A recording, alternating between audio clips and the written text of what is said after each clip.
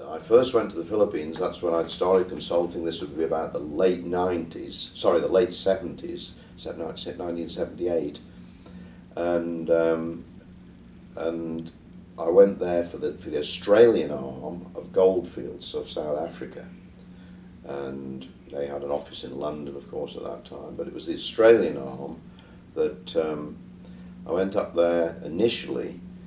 Oh, that's yeah, that's that, that's that, that's an interesting story as well, because by working at Bajo del Alumbrera, we, we, we realised there that this this had a high gold content in it. Um, very difficult to get a get a, low grade gold assay back in back in those days. But there was we all knew from the literature that um, CRA uh, had discovered Panguna in Bougainville Island of just know just to the east there of Papua New Guinea, and that this was a, a, a, a gold rich porphyry copper, and a lot of the revenue it had only just gone into production. A lot of the revenue was coming from gold. But the gold grade was always always reported in the literature as pennyweights. And I remember being up in northwestern Argentina trying to determine what the hell a pennyweight was. anyway, we finally managed to translate it into grams and realised that Bajo del Alumbrera had the same amount of gold in as Panguna did. So there was a lot of a lot of excitement that ensued then because it was obviously a, a potentially a revenue stream. This was prior to the gold gold price increasing in 1979, of course. We're still in the mid 70s. And then I got to work um, also on a UN project at Saindak in in um, in westernmost Pakistan, in Baluchistan, right where Iran, Afghanistan, and Pakistan come together. So I spent three months in a tent. So this is circa Reko Diq, is it? Yeah, west of Reko near, yeah. near, near the Iranian border. And that was also gold rich. So we started to started to realise that um, there was a, this linkage between magnetite in these systems and the systems being being, being gold bearing. So we could see different levels of gold in these systems. So I thought, well, there must be gold rich end members of these things. So that's why I went to the Philippines because there, there, there were several porphyry copper golds known and reported in the Philippines at that time.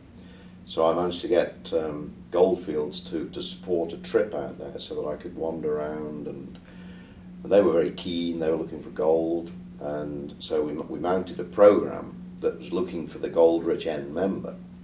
And you wrote a paper with Gappe?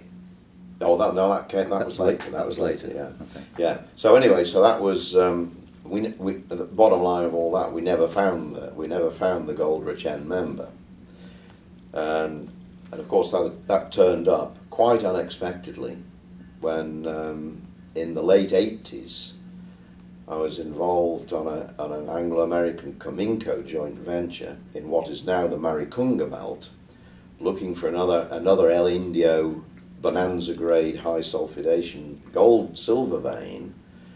Um, and the, one of the, or several of the alteration zones suddenly realized these are gold, these are porphyry gold deposits, essentially no copper in them.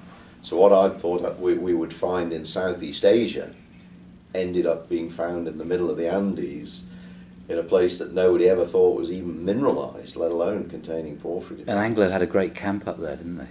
They, they Anglo had a, had a Anglo knew how to do exploration up there, yeah. and uh, that was just when we're talking about late 80s, early 90s, that's when these um, commercial catering companies for field camps just started to be set up. And they had different levels of service. And um, an Anglo-American knew that they had to take care of their people. So they had the top level of service, which meant that you'd come back from the field, have a nice hot shower, go into the living room, and there'd be a, a uniformed waiter with a tray of pisco sours and canapes before dinner. Because so, you, you, um, you set you or you and Anglo between you arranged for that for, on that field trip. Do you recall? Well, that was ni- 1991. Yeah. I think it wasn't it 1991 yeah. or yeah 19 the SEG SEG field trip. That's right. We went. We went through the Santa Cecilia camp.